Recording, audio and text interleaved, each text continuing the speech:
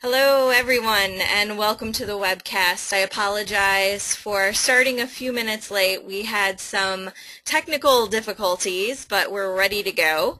Um, my, my name is Christine Dursey and I'm the Executive Director of APA Ohio and Vice Chair of the New Urbanism Division and I will be the moderator for today's webcast. Today, Friday, September 20th, we will hear the presentation Where the Boom Babies Grew Up, Post-World War II Era Suburban Tracts and Complexes. And this is a special webcast in that our speaker, Richard Longstreth, is also presenting to a live audience. For technical help during today's webcast, type your questions in the chat box found in the webinar toolbar to the right of your screen or call the 1-800 number shown. For content questions related to the presentation, type those in the questions box also located in the webinar toolbar to the right of your screen. We will answer those at the end of the presentation during the Q&A session. And because this is a special webcast, we will also be getting some questions and um, answers also facilitated during the live portion.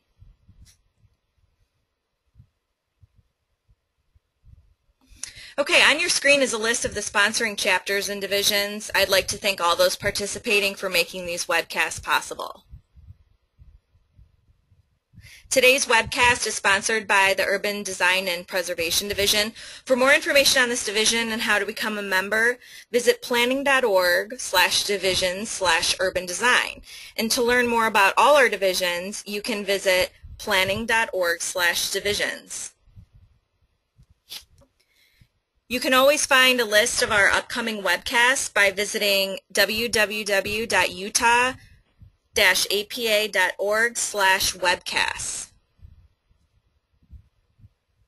To log your CM credits, visit planning.org slash CM, select the activities by date, select today's date, September 20th, and then select the title Where the Boom Babies Grew Up.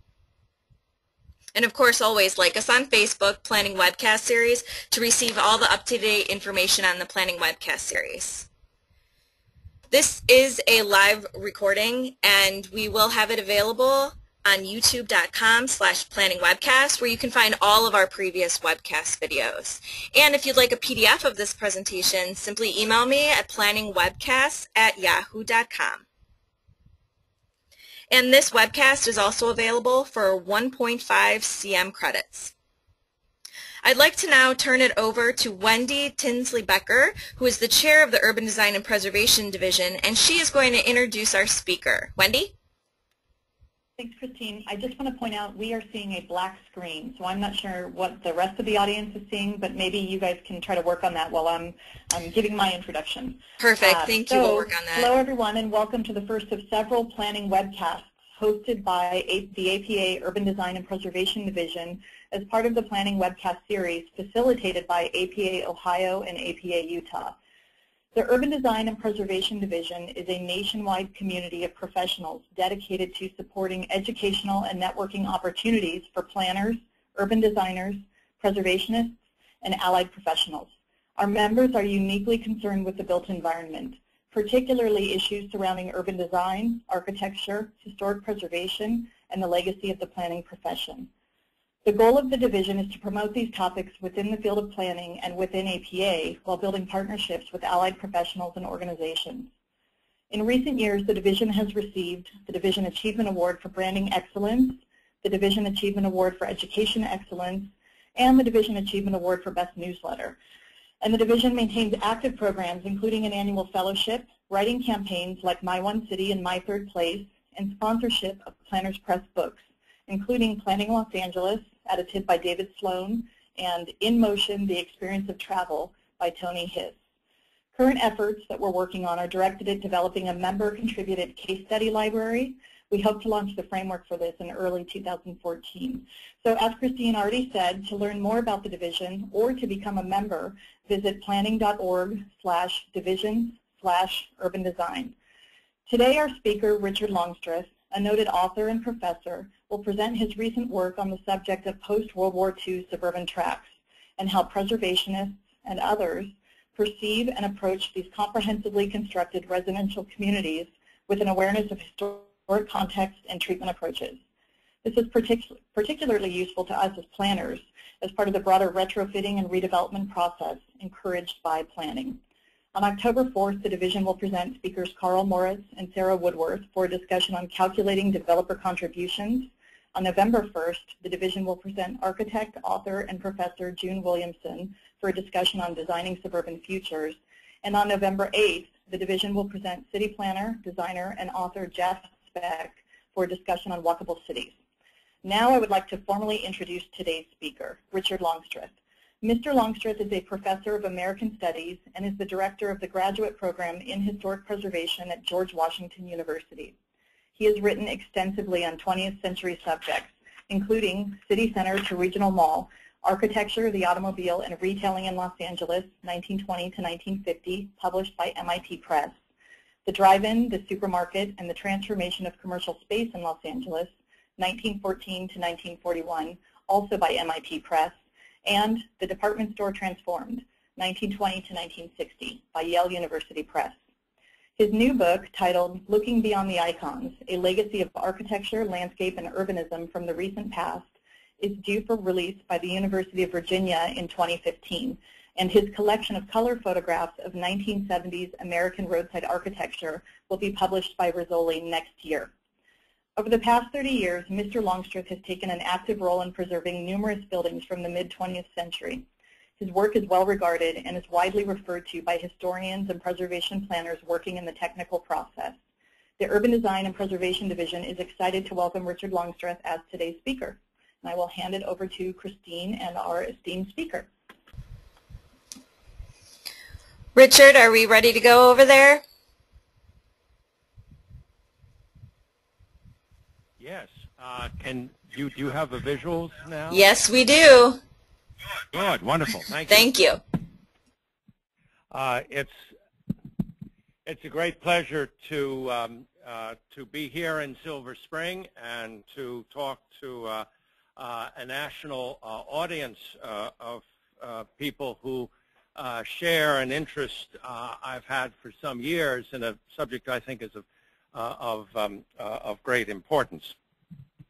Uh, and bear with me for a minute while I, that is it, right?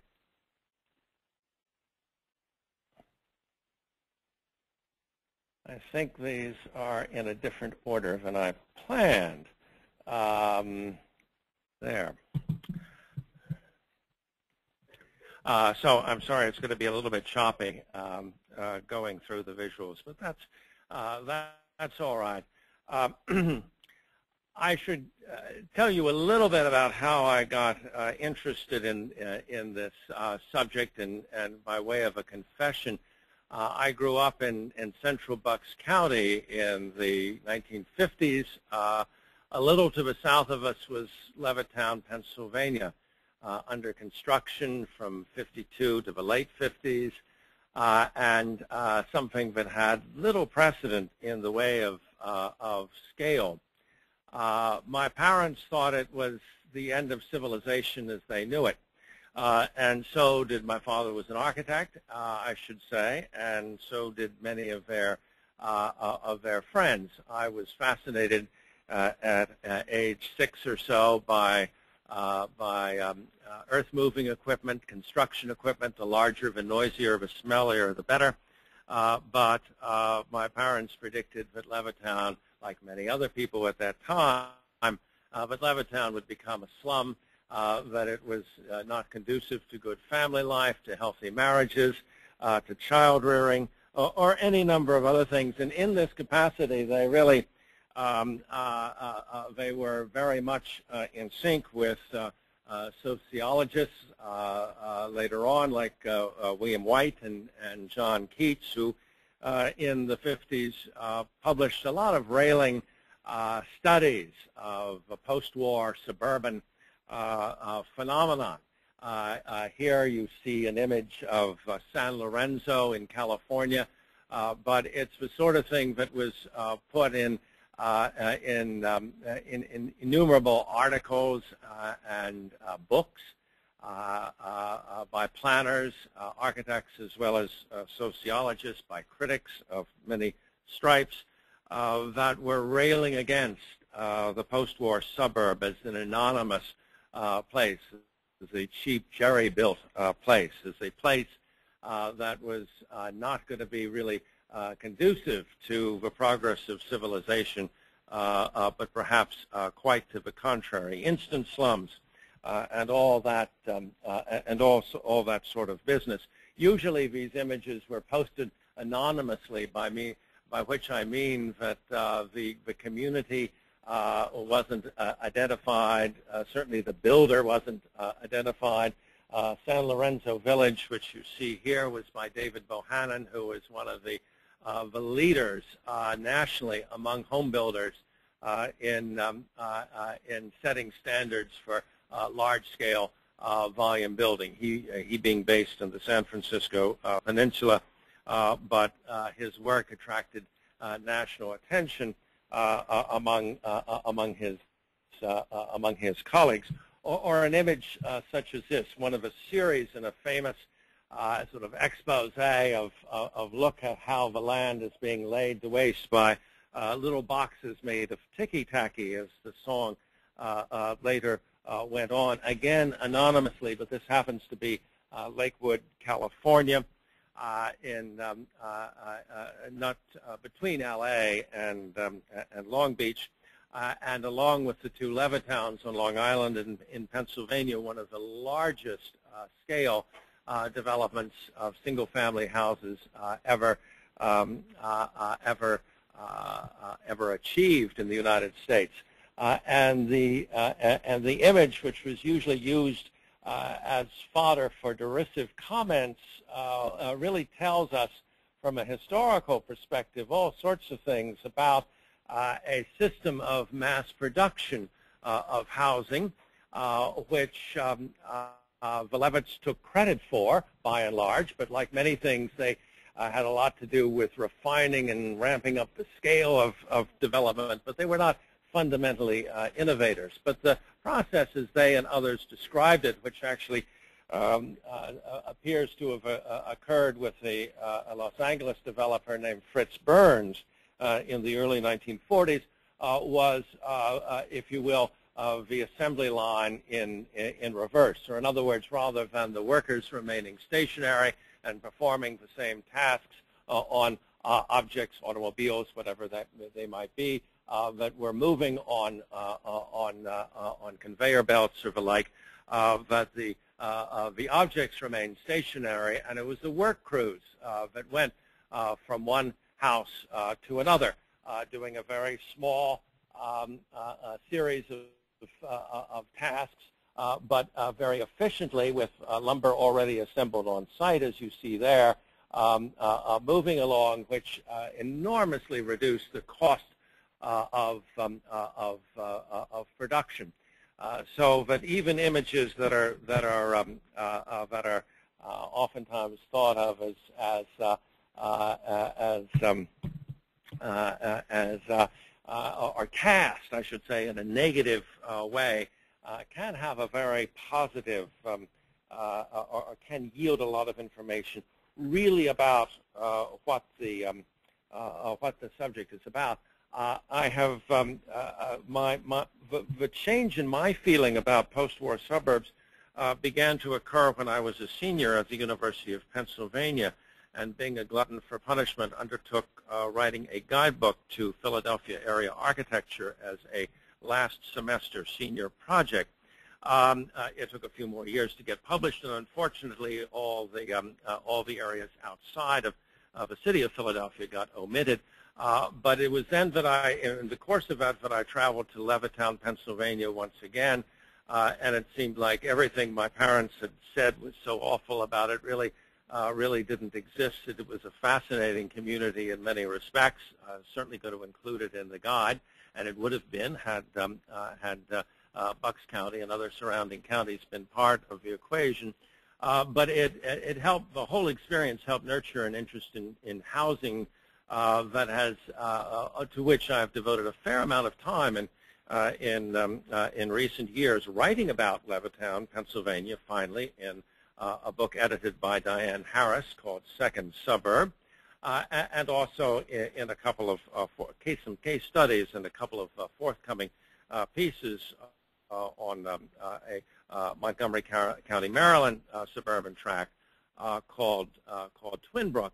I've also really been spurred to do this work through um, projects that I've developed for some of my graduate students beginning in 2000 when we looked at uh, a later Levitt development, Belair at Bowie in, uh, uh, in Prince George's County, Maryland, and in more recent years um, in Montgomery County, and then um, the African-American suburb of Nauck in Arlington County, Virginia, and, um, and then uh, another African American, uh, what became an African American suburb uh, in the 1950s and 60s, uh, Seat Pleasant, also in, in Prince George's County. And uh, all of this uh, work by my students and by myself has underscored really some key things that these communities need to be looked at, just like neighborhoods in a city need to be looked at on a, on a case-by-case -case basis. The generalities uh, only goes so far. Each of these places has its own uh, story uh, and its own distinct uh, features. The um, uh, Dartford is often hurled at uh, the post-war suburban phenomenon by its critics that it's all homogeneous, is a batch of bunk. you only have to look at the real estate pages of a major daily newspaper in the 50s and 60s or to drive around these places to see the incredible uh, variety of housing stock uh, that was produced during the post-war era and the uh, uh generation or so uh, following uh, following World War II. which brings up a point. Here is Lakewood the way it looks today. a, um, a large and, and incidentally a, a, separate municipality from the start that was um, that was intended in this case, as many such tracks uh, are, um, uh, are not. But few people visit these places unless they live there or have friends there. 50 to 60 years after they've been completed, many of these places have, have aged very well and are very important uh, as uh, places of residence for a rather broad segment uh, of American society uh, from a historical perspective, which is how I uh, try and approach uh, my work and the work uh, at GW that I, uh, I direct, these were very special places from, from the start. they represented to a generation that had lived through World War II and the Depression, Uh, uh, uh, most of them experiencing hard times, and many of them not born to families of means even during the 1920s.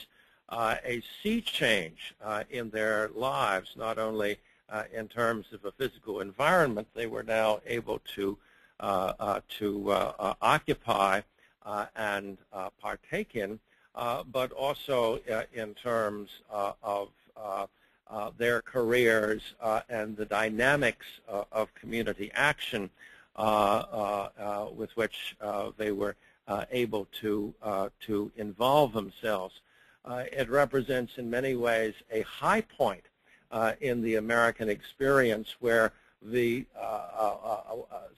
perhaps the largest percentage of our population uh, has been able to um, has been able to partake in that long-standing uh, American dream uh, of a freestanding uh, single-family house uh, set in its own yard with at least a certain degree of, of, of sylvan attributes uh, to the landscape, the immediate landscape of one's property, but the larger landscape of the um, of a tract as as a whole. Uh, and, uh, uh, and, and, and the generation that, uh, despite uh, John Keats, um, uh, despite Holly Whyte, despite Lewis Mumford, and other many other critics of the period, um, this generation flocked to these developments. The notion that developers were uh, cramming this down the, um, uh, the mouths, as it were, of their uh, market is um, uh, is dead wrong. Again, the variety of options uh, was um, uh, was as large as it ever had been for entry level housing, and, considerably larger than in many than in many periods of the past. And this was a new mass market, too, one that had um, that a lot of people thought was emerging during the 1920s uh, when actual income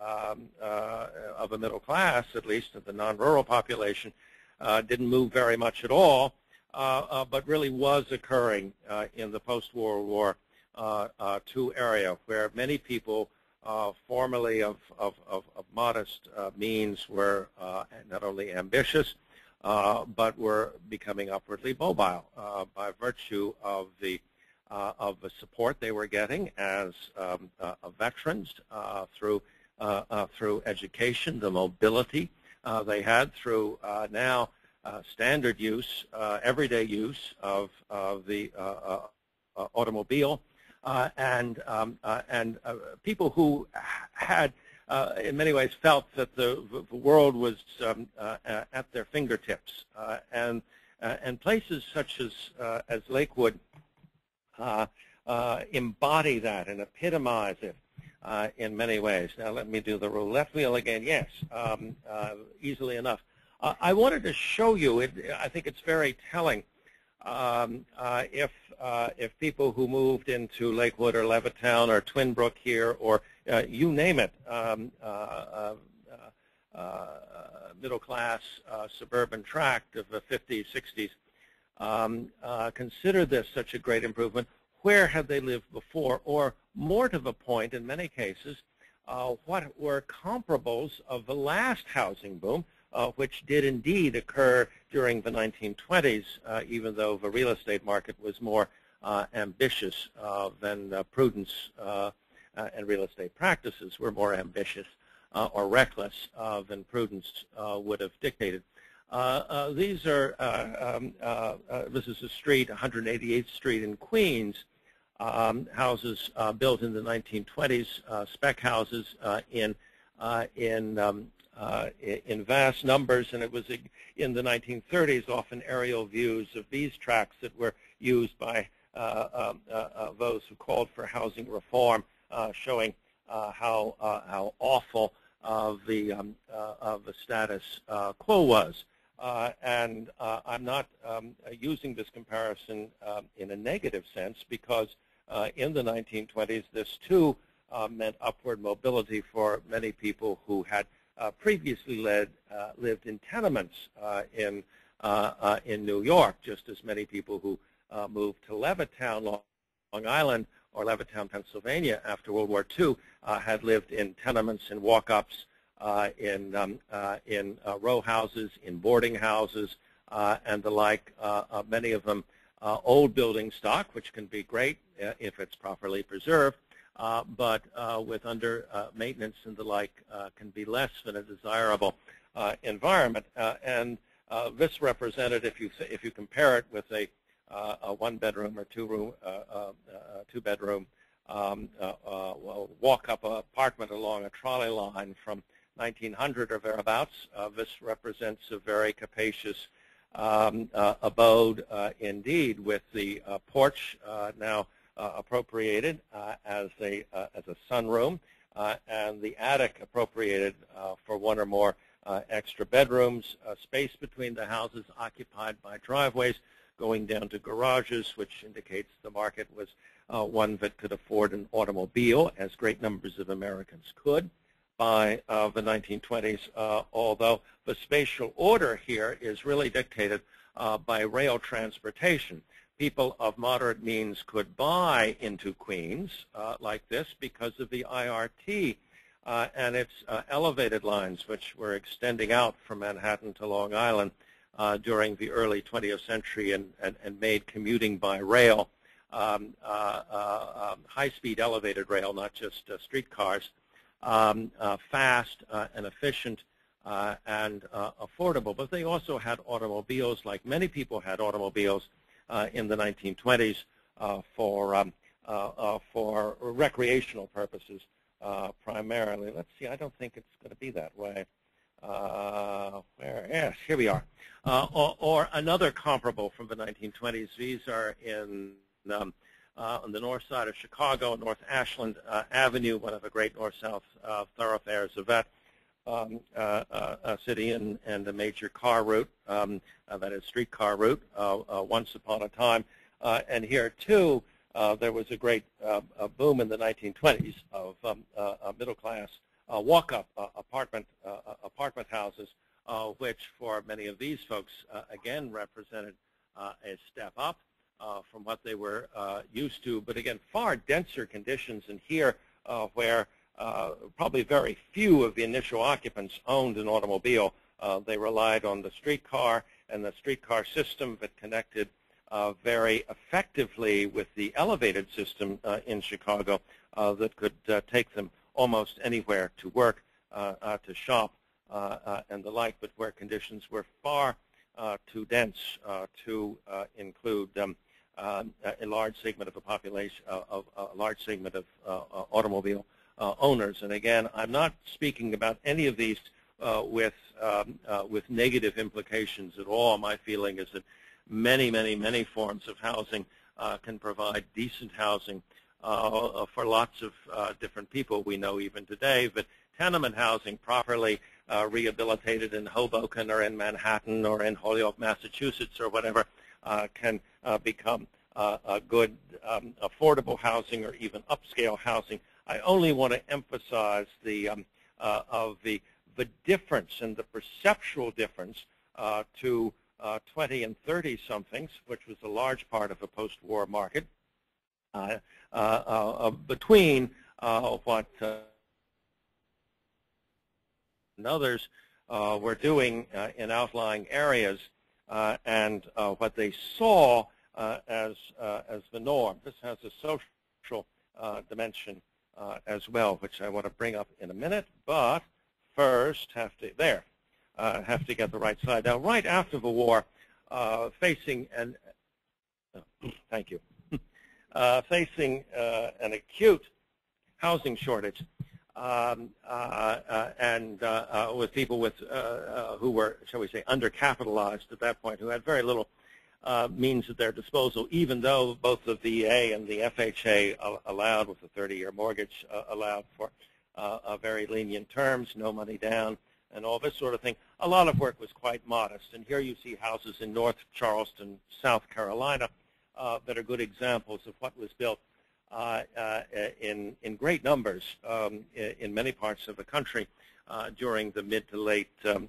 40s uh, uh, and into the 1950s as well. But be they ever so humble, seven, eight hundred thousand, seven, eight hundred square feet, uh, that um, uh, uh, still represented for people who maybe during the war had lived in trailers and temporary Uh, uh, dwellings of uh, one sort or another in barracks and Quonset huts in their parents' apartment or in a friend's boarding house or whatever represented a major step upward and and we can we can chart uh, housing progress um, you're going to see these slides so often you'll be really be sick of them. I'm sorry. Uh, we can chart housing progress uh, by um, uh, almost by the year. Not, and when I say housing progress, uh, it not only means uh, uh, larger houses with more amenities, um, but also a, a, population that is beginning to come of age, beginning to have larger families, and beginning to have more means uh, at their disposal uh, to afford. So uh, from the early 1950s on, we see more in the way of, uh, of larger lots, uh, more commodious houses. This is a very small tract, uh, and many of them were small. This, this is in East Providence, Rhode Island, and it's just a, a local builder doing a tract of about 20 houses or so, and this actually represents the norm in terms of, of what many builders were doing. And yes, a number of them uh, were ramping up now. The Federal Housing Administration uh, made, the, made it possible for them to borrow other people's money uh, um, uh, in a um, uh, in a um, uh, in a safe, controlled um, mortgage environment in order to um, in order to work at a larger scale. But many post-war developments are, are, are, quite modest sort of add-ons to um, to existing communities. But it it gives you a good sense of of, of the uh, expansiveness uh, of these places. These are one-story ranch houses, probably no more than uh, 1,200 square feet, if um, if that. But on generous um, uh, uh, um, uh, lot sizes, all of which was made possible be, by virtue of, of the automobile tracks that were absolutely impractical for residential or many other forms of development when the reliance was on uh, uh, trains or elevated railroads uh, or even interurban trolleys, let alone trolleys and buses. prior to World War II, um, uh, uh, now and, and have been used primarily as, as, as farmland or uh, other, uh, other kinds of related rural functions.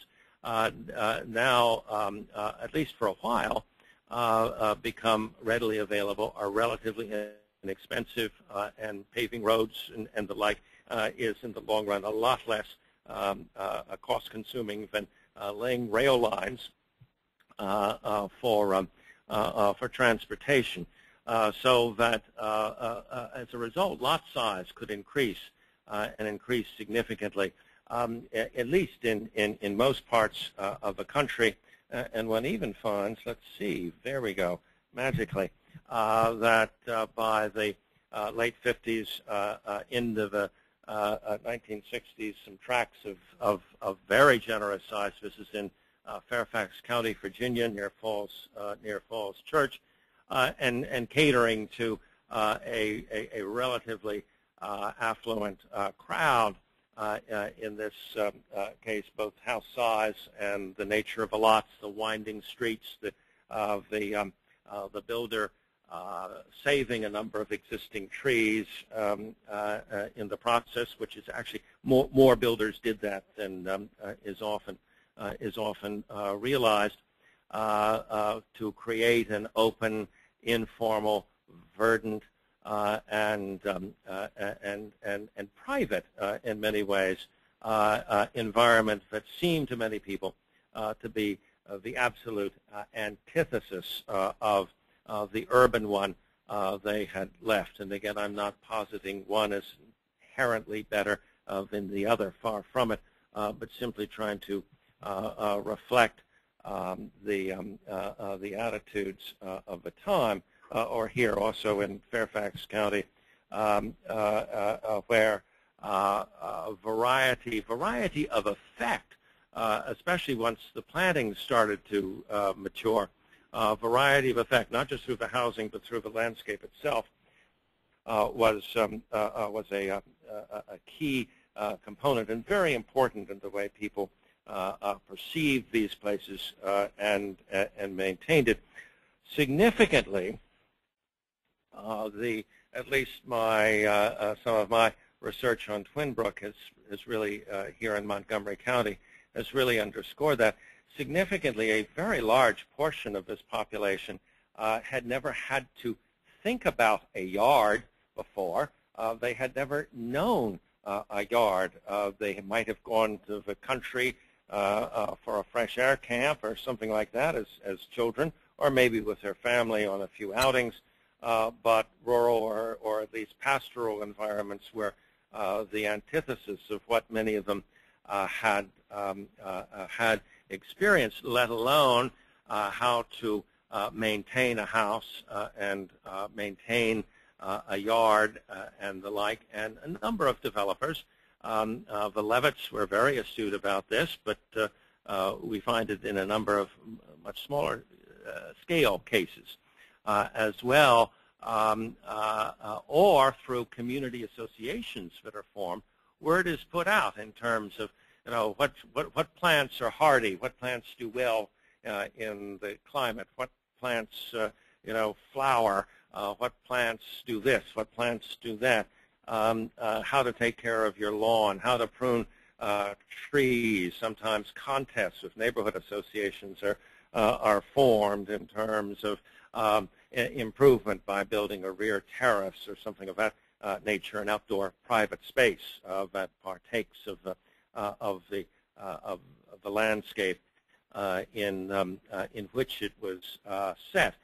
so this really represents something of a quantum leap, not only just in the experience, but then in the activities that are necessitated by that experience for um, for um, many people. There's also a planning component uh, of this, which is uh, interesting. Now, even before World War II, uh, the Federal Housing Administration is setting out guidelines for the, the planning of suburban uh, tracts. And if you want to get an insured mortgage as a, as a developer, um, uh, you might be wise to follow uh, some of these guidelines. But they were essentially the nature of that, that subdivisions should, um, should be sympathetic and, and to the degree possible, follow the topography, as many things done in, in, in, the early 20th century, many urban developments in the early 20th century, let alone the 19th, uh, were, um, uh, were not. And rather than uh,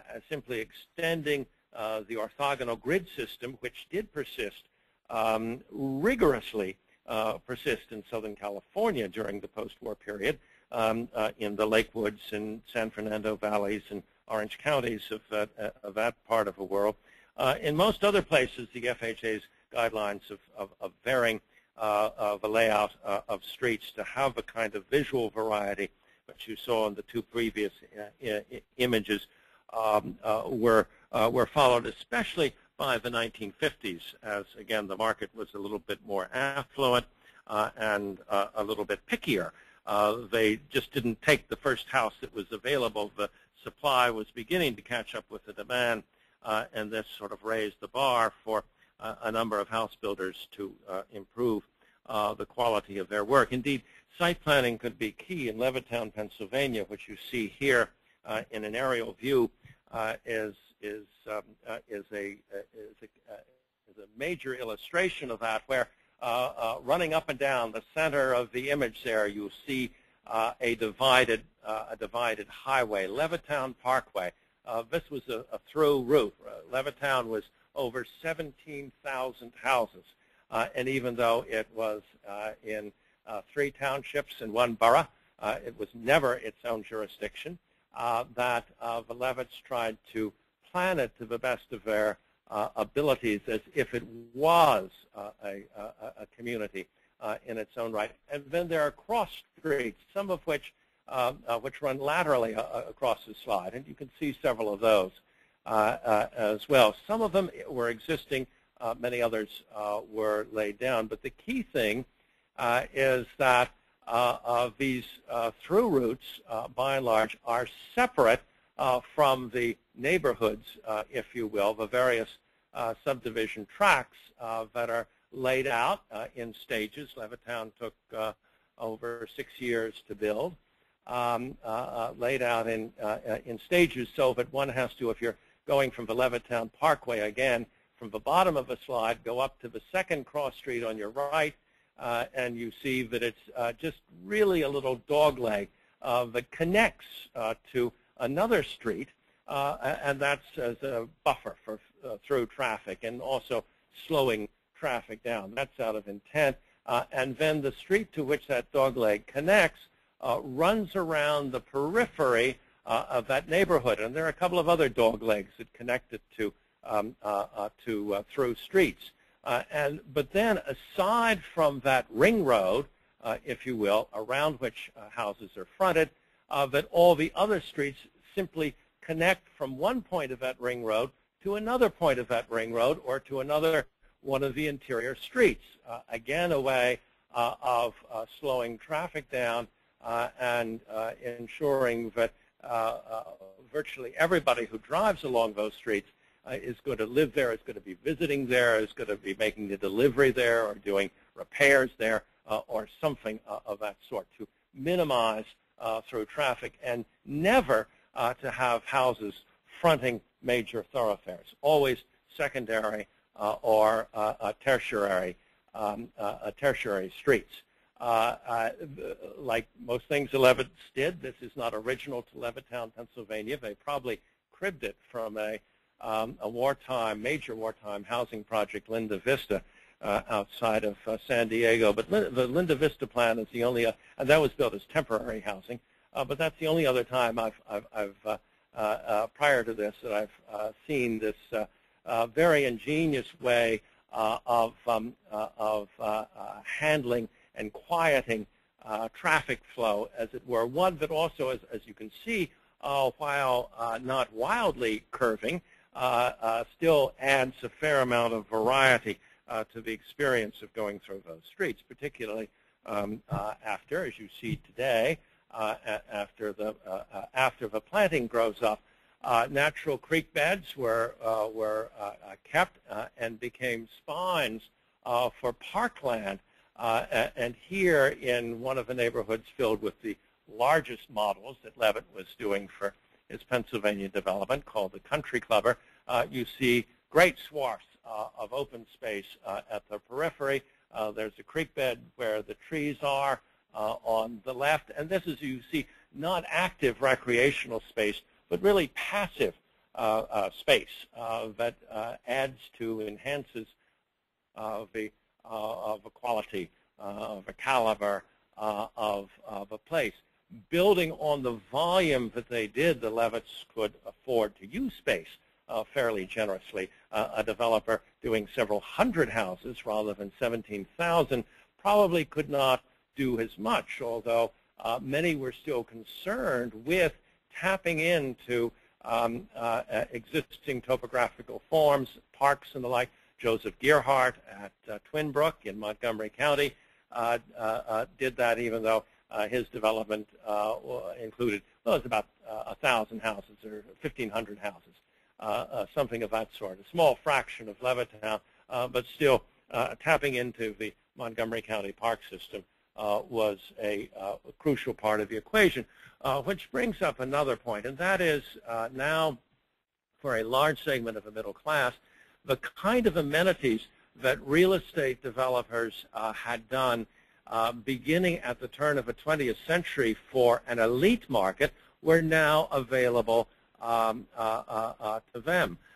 beginning with um, beginning with the Bouton's Roland Park, out then outside of Baltimore, Maryland, and most famously with J.C. Nichols Country Club District um, uh, in and adjacent to Kansas City, Missouri, and then into Johnson County, Kansas.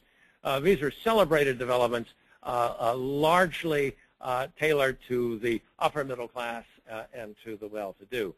Uh, and uh, uh, comprehensive planning was um, was touted as a way to enhance long-term property values. And comprehensive planning included you know, restrictions on on on, on house size. Both you, you know, it has to be so big, but it can't be too big uh, for the lot, uh, that sort of thing. Uh, obviously on function and in the form of zoning. Uh, uh, of one sort or another, but also meant uh, providing adequate roads, adequate places for, for, for recreation, adequate places for worship, adequate places for education, be they schools, libraries, or whatever, um, a, a comprehensive plan or a guaranteed neighborhood, as, as one developer in Southern California called his very exclusive work in Palos Verdes, um, uh, in the um, uh, uh in the 1920s. Uh, this uh, is now in a lot of the best of these tracks, irrespective of size, really an integral part of the equation. It's perhaps no no um, coincidence that the Levitts had really achieved national recognition in among home builders prior to World War II uh, for, cater, uh, for, catering to the upper middle class market uh, on Long Island uh, and incorporating many of those uh, features which now um, uh, get applied on a much larger scale, especially in Pennsylvania. The Levittown, Long Island was not intended to be what it became and has all sorts of bumps and warps and, and the like as a result. But Levittown, Pennsylvania was, um, was a, a, a key part of the equation.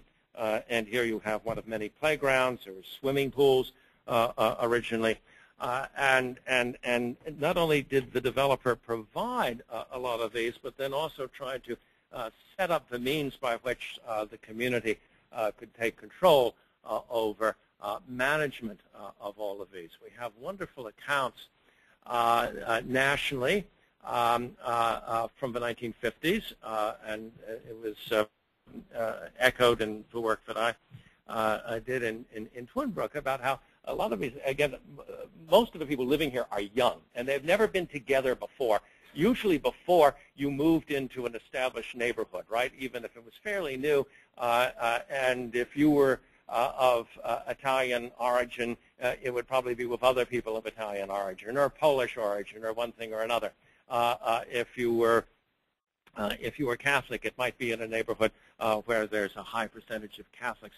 None of that happened, at least among the white population, uh, uh, during the post-World War II area. Uh, it became a great a mixing bowl um, that way, so that you were, you were not in the old neighborhood, and there were no elders telling you what to do either. There was no hierarchy. everybody was in very short order sort of dumped in a place, um, if you will, um, very quickly. Uh, and, uh, and the accounts uh, that I've found, and I'm sure there'll be many more with further research in some of these places, of how these, a lot of these folks, not everybody of course, but a lot of these folks roll up their sleeves and begin to create community through neighborhood organizations and the like. Uh, Twinbrook significantly added to the population of Rockville uh, and got significantly uh, tired of the old, good old boy sort of rural uh, way in which uh, the municipal government in Rockville was uh, run, staged a revolution. A Twinbrooker became um, uh, the mayor uh, and began to change governance that way, not just for the neighborhood, but for the, um, the incorporated um, community as a whole. And I'm sure there are many other stories like that, whether it's uh, in governance uh, or whether it's through PTAs uh, uh, Uh, uh, and a new level of investment uh, in your children's education uh, for creating recreational places, for establishing congregations of, um, of one sort or another. All of these are an important part of the um, an important part of the equation. Um, uh, the Levitts, even though they were Jewish, uh, would not sell to Jews in the 1930s in Long Island. Um, uh, it took a little while to find that out, uh, but uh, I was able to. Uh, and all of that begins to change after, after the war. and so there are synagogues as well as churches and other houses of worship, but especially in the 50s, synagogues and churches serving uh, of the same community, uh, and it becomes, and I think I even have a slide somewhere, there, uh, in Levittown.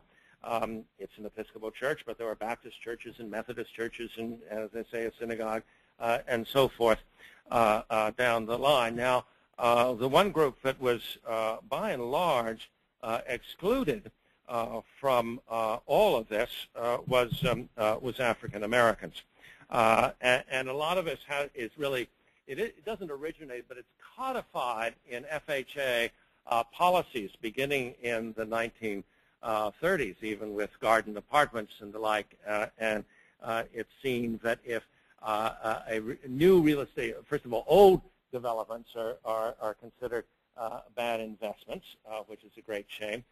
but if new developments are, quote, open, then they are considered uh, uh, bad as well. And the FHA, even after World War II, uh, becomes a, very um, reluctant uh, door opener, uh, giving, um, ensuring mortgages largely to white developers who want to plan suburban tracts for for African Americans. this doesn't um, uh, change uh, for a good while, but what is changing in the 1950s, or I'm beginning to discover, uh, is that there were in more cities than you would you would guess, or more metropolitan areas, than you would guess. some very significant suburban development, none more so in, in its extent or in the mechanisms that were established to enable it than what is um, uh, uh, generically referred to as Collier Heights uh, on the on the central west side of Atlanta, which encompasses a huge area and a great number of tracks. and here is one of them, Chickamauga Heights, built in the um, built in the late 1950s.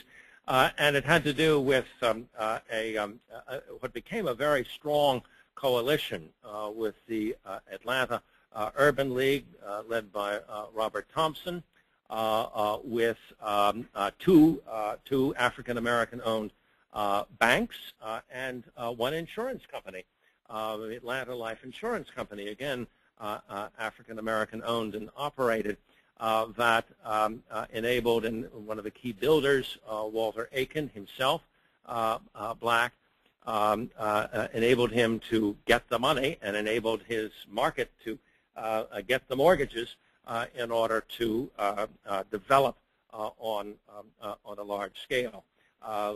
now, not Atlanta, as I say, is is is is, is probably the most extensive of of this sort.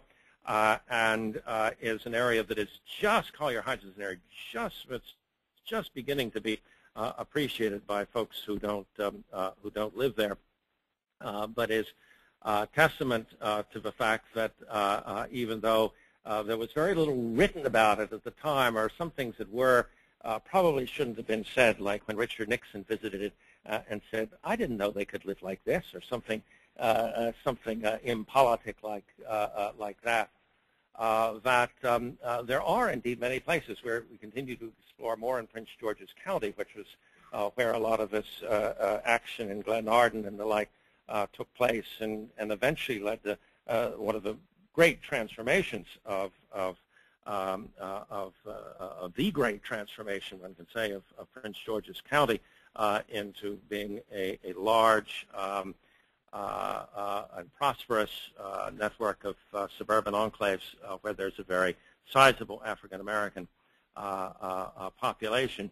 but that doesn't occur really uh, until the um, uh, late 70s, 80s, uh, and, and, and further on uh, down the pike. So uh, by, by custom, by practice, by federal regulation um, uh, of the, of the Collier Heights of the, of the country, and I've found examples in Philadelphia, Princeton, New Jersey, of all places, um, Savannah, Raleigh, Dallas, is well known, New Orleans uh, and the like to uh, greater or smaller extents, uh, but it is still also uh, an important part uh, of the equation. Now, why, why preserve all of this?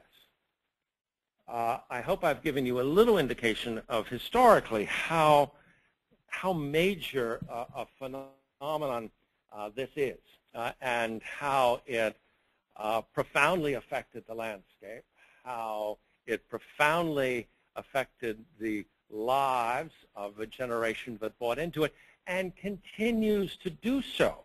Here in Montgomery County, uh, there was a sort of a low-end housing tract called Veirs Mill Village, still exists on Veirs Mill Road, uh, and, uh, and uh, this was just a little bit too low end uh, for a lot of Montgomery County residents, business and, and, and political communities alike uh, unite to to, write it.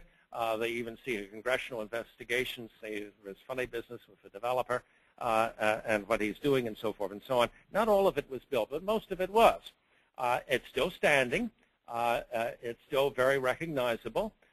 it's, it's not glamorous, but it provides entry-level single-family houses for a, a, segment of the Latino population now and affordable housing.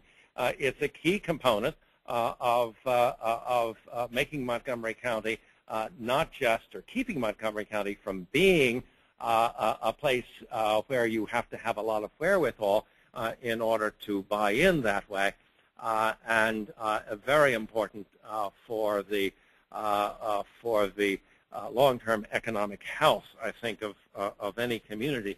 Uh, many of these in Collier Heights uh, are, number of tracks in Collier Heights, Uh, still um, uh, remain um, uh, enclaves of the black elite of, of Atlanta. and there are many um, other subdivisions, tracts that were built for middle-class whites that have, some of them have become, again, far um, uh, have got uh, far more sought after than they were originally because uh, of the amount of land, the size of the houses, and all of this. Some others have sadly uh, deteriorated.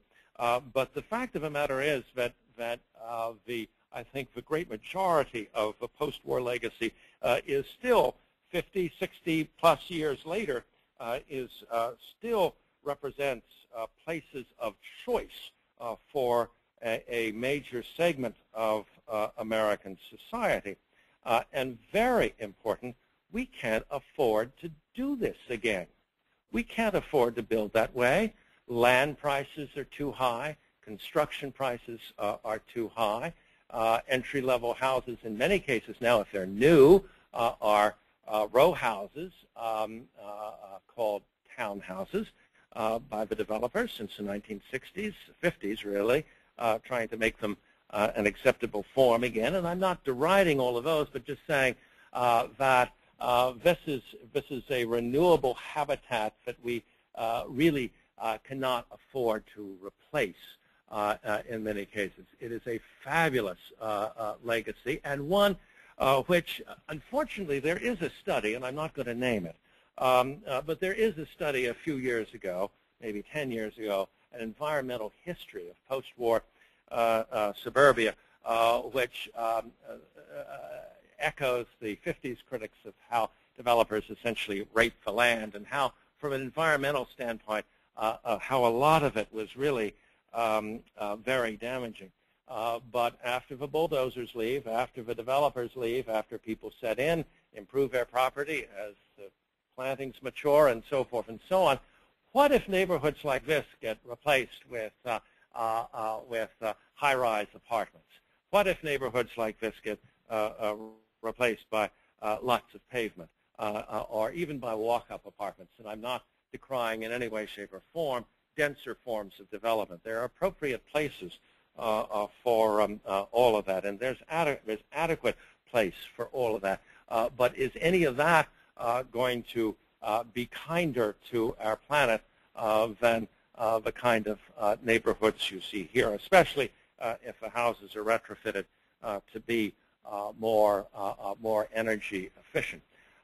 for places like suburban Atlanta, suburban Washington, D.C., with um, Montgomery County here, for suburban Chicago, San Francisco, St. Louis, you name it. Uh, uh, for any um, uh, city um, for any major metropolitan area. In these outlying jurisdictions, the post-war legacy is in many ways the most important part of that jurisdiction's heritage. Uh, it is a major epochal um, uh, uh, component of outlying counties' histories, and it's produced some of the most uh, interesting uh, development. And the, the, sooner we recognize this from a historical perspective, but also uh, in terms of the value uh, many of these places have uh, for us today and for future generations, I think the better off we'll be. Uh, and I'm going to stop with that and, um, and open the floor to questions. And I'm not sure how this works. Great. Thank you, Richard. That's wonderful. Um, I, I, think maybe what we'll do is we'll take one question from our end on the webinar, um, and then we can finish up with any live questions. Um, so the first question that we have over here, redevelopment of suburbia will need to consider the wants, needs, and desires of millennial and Generation Z renters, homeowners. What strategies or approaches do you recommend that planners, urban researchers use to include these groups' perspective in envisioning the future? That's a, that's a hard question to answer because it, it has so many potential components, and I think Uh, the, um, uh, and it can vary from place to place. Uh, there are many places in the country, I think, where uh, people who inhabit these tracks are very appreciative of them. Lakewood is, uh, is, a, uh, is a city that is very aware of and very proud of its, of its history. Levittown, Long Island is, a, is another place that has uh, become that way. When uh, I and others were working on the Levittown, Pennsylvania book, uh, there was relatively little, uh, shall we say, public uh, cognizance, let alone appreciation of the history of a place or, or, or what it's like. Twinbrook, where we worked and I've worked subsequently, has a high level of recognition, but not every place does. So part of it may be, in many cases, with, with, with uh, the planning community, but also the preservation uh, community, and I think they should be closely intertwined, uh, to, um, uh, uh, uh, to work at raising levels of consciousness. Oftentimes, if you grow up in a place, you take it for granted um, and don't really think about any of its special characteristics.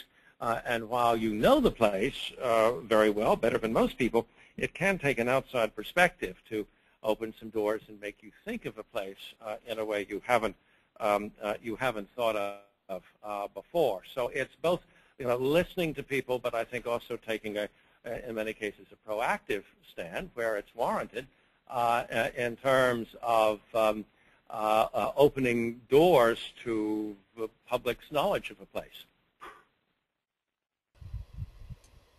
Great. Um, well, Susie, do you have any questions from the live audience? Yes. Many of the first-time buyers um, decided to add additions to their houses later on to make their quality of life more comfortable.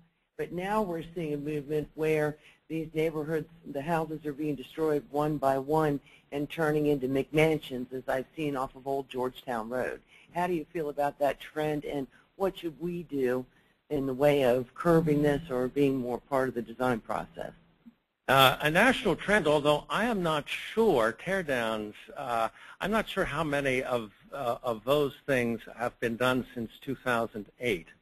Uh, uh, and it may uh, be something of a, of a breathing space, at least. but the, it raises a, a serious question because uh, what was once relatively inexpensive uh, and affordable has, in cases in, in, in, in prosperous metropolitan areas, uh, land values have, have, um, have uh, risen out of proportion to inflation and other, uh, other um, uh, and certainly to the, to the you know, income and, and, and the like. and so that there is, you know, uh, do I want a 1,200, 1,500 square foot house? Uh, uh, do I want to pay some fabulous sum of money for it and then live in it as well, especially if I, I can afford more? And I think the answer is there, there are all sorts of creative ways on, to which to, to add on to, to houses um, of any period, any type. Uh, for that matter. I mean, there's a limit in terms of size uh, and the like. Uh, but um, uh, uh, that certainly through guidelines, through the establishment of conservation districts, if not through the establishment of conservation districts that limit the footprint of, of, of construction on, on, on properties. Uh, if not through historic districts, uh, can all be ways of, of, of, um, uh, of toning that down.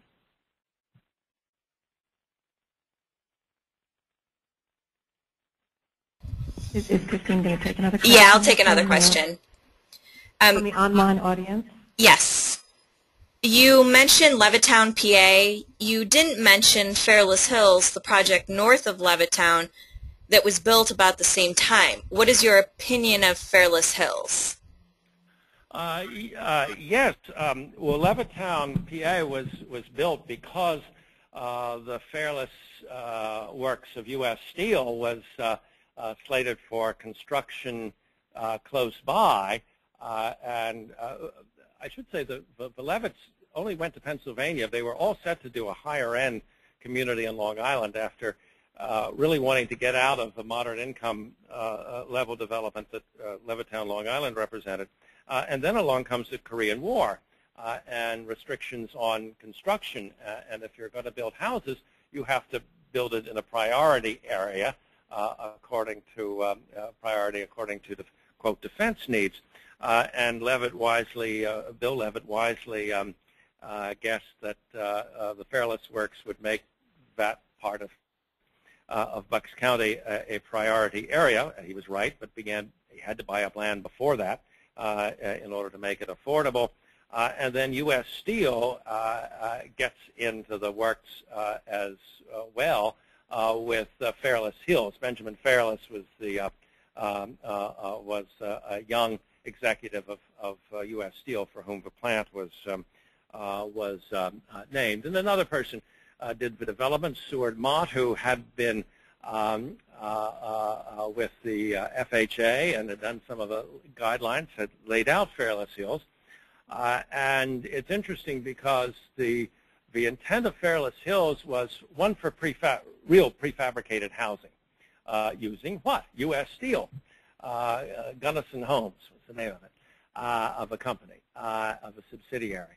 And so U.S. Steel wanted to show that but real prefab houses were were uh, were um, uh, uh, were not only doable but uh, preferable. And there was there was a great contretemps between the Levitts um, uh, uh, nationally between the Levitts and prefabricators.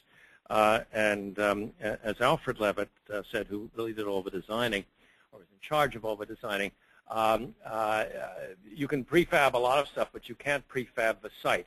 A major part of our costs are in the site.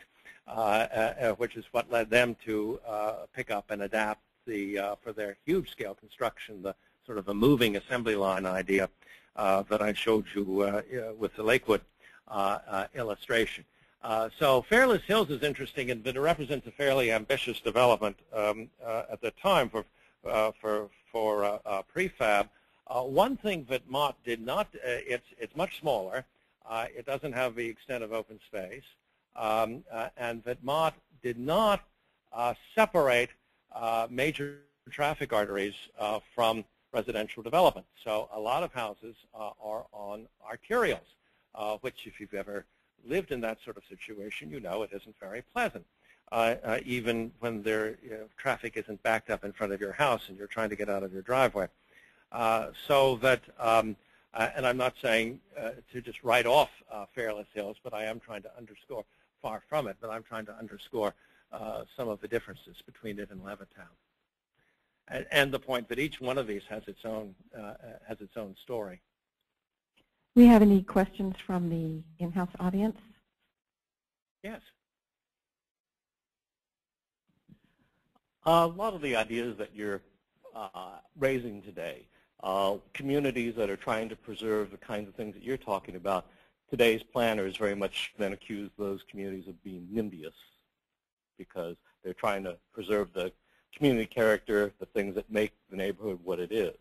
Uh, here in Montgomery County, Maryland, we have what's known as the Agricultural Reserve, which for those people who are fortunate to live out there, essentially protects those areas from future development and manage, allows those people to preserve their lifestyles.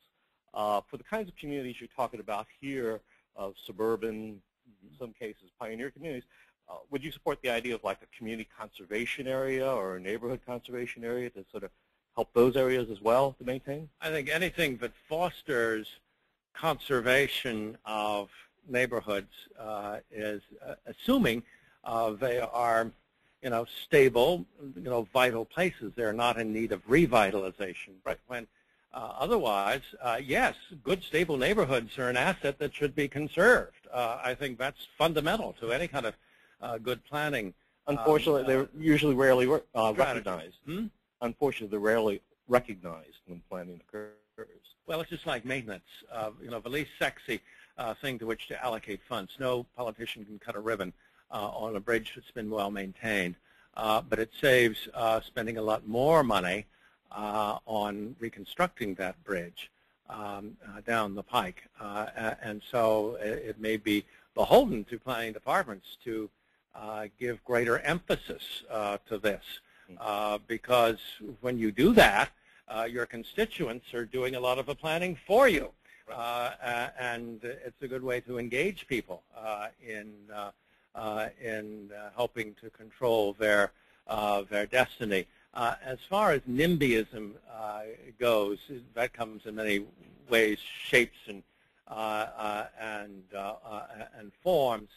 and I think if, it's, if, it's, if it's something that is trying to keep people out, uh, it's probably a negative force. Uh, if it's something that's trying to protect something that, that uh, long-term uh, uh, residents value, uh, I don't see it as primarily a negative thing. I don't think it's an exclusionary thing. I think it's, again, simply um, good conservation. I have the good fortune to work in the summers in the Adirondacks where over the last 40 plus years now there has been a huge contretemps between many um, uh, lifelong residents uh, and the Adirondack Park Agency, which administers the first regional zoning plan in the United States, uh, created in 1971 or 2, I forget which, uh, which has seen, been seen by many long-term residents as, as, as a stricture, uh, preventing economic development and so on. That's beginning to change now because uh, the Adirondacks as a place where um, uh, uh, far more of the land remains wild than any other place east of the Mississippi uh, is being seen increasingly as an advantage, not just for the tourists who, who come there to hike or to boat or to whatever, uh, but uh, uh, for the economy and for, for long-term residential communities. Ultimately, it's a balance. but having the agricultural areas in Montgomery County um, uh, is uh, uh, which my predecessor Fritz GW Fritz Gutheim was was involved in. I think is good long-range planning for the health of the for the health of county. Um, so. But I guess what it even gets to is the irony in the rush to create walkable communities. We're ignoring the existing walkable communities. Uh, yes, oftentimes uh, that can happen. Uh, and, and, and Washington is kind of a special case because uh, uh, as metropolitan areas go, it's awfully prosperous. But you look at, at, you know, many cities that are less so, you know, the Clevelands or whatever, the St. Louis's, the Omahas or whatever of the world, where there's so much existing infrastructure that is just so now underutilized. So many housing stock. You could uh, you know, a good middle class house from 1910 or so uh, would, if you had comparable quality materials and the like, cost a fortune now. Uh, and to see a lot of this fabric neglected and, uh, and, and decay uh, is, um, is, is, I just think, a squandering of resources.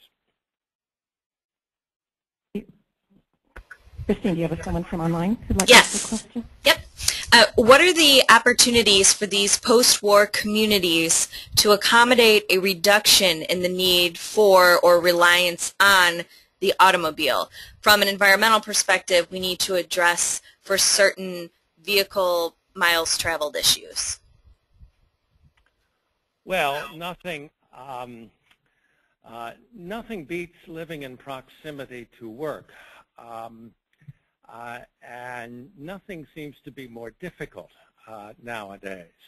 Uh, the automobile has uh, has fostered that. Uh, it didn't necessarily uh, it didn't necessarily create it, but it isn't always necessarily use of the automobile. It's that that the distances one has to travel for for employment, for shopping, or for worship or for education or whatever uh, uh, can be made can be made minimal.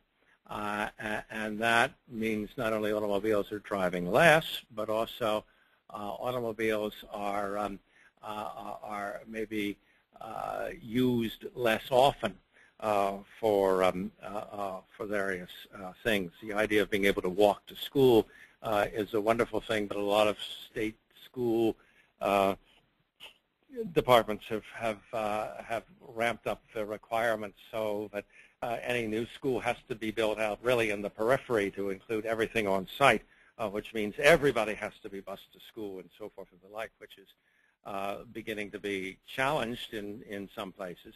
Uh, but it's simply an example of how outside forces can trigger this. I think a greater realization, and, and everybody, nobody wants to be on uh, the highway uh, uh, inching along bumper to bumper uh, for an hour and a half or whatever after a workday.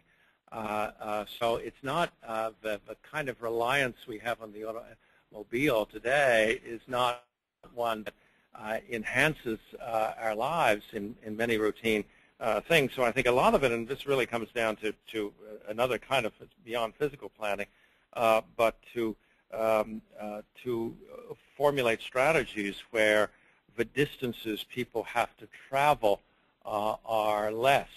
Nobody thought about this, uh, has thought about this until uh, until fairly recently, but I know.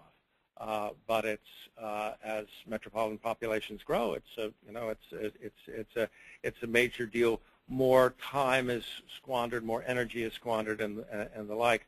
Uh, by uh, by um, uh, long distance um, commutes, and that's for metropolitan areas. Rural areas, um, nowadays, it's very common to have people commute 30, 40 miles each way because the places of employment have become more centralized. Uh, they like to live in a small town, but don't want to. Um, but there's no place to work there. Uh, so they have to drive to the nearest you know, large town, small city, uh, or wherever. And maybe that can uh, begin to um, uh, uh, change too. Driving under those circumstances can be uh, somewhat more pleasurable, or at least not quite as harrowing. but it's still there's the energy consumption, and there's the time, and there's everything else that's a negative with that kind of long distance transfer. So I, I think the issue is the issue is a very important one, but it's not just sort of, um, uh, you know, retool. I, I, think the automobile also will be uh, around for a long, long time.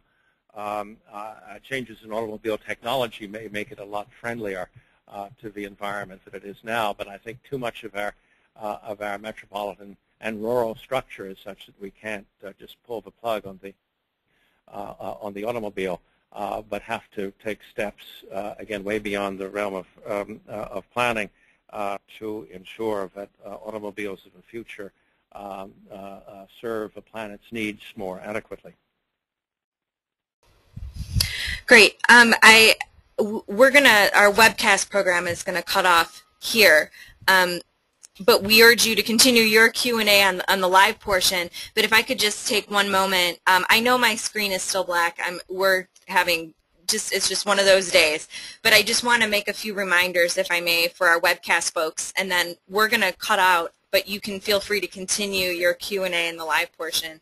So I just wanted to make a comment. Um, again, thank you to the Urban Design and Preservation Division, for sponsoring this today. Thank you, Richard, and thank you, um, Wendy and Gary and all of those folks that have helped out. Um, and you can get a recording of today's webcast at our YouTube channel um, planning webcast. You can email me if you have any questions, planningwebcast at yahoo.com. Don't forget to log those CM credits, look for our future webcasts, and like us on Facebook. And that's it. Thanks, thanks everyone um, for bearing with us with our late start and our, at some point, blank screens.